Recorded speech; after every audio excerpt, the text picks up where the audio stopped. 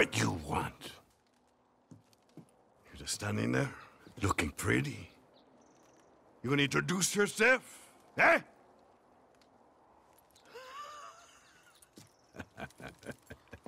you one of those cabrones got busted out of prison. Come to Flaco looking for work.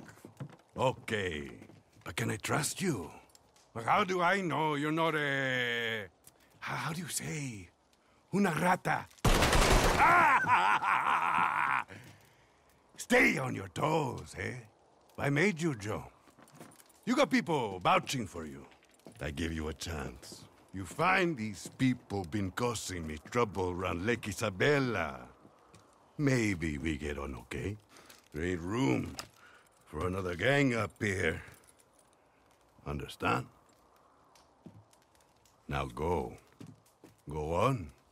Get out of here before I try and shoot you again. Cabrones.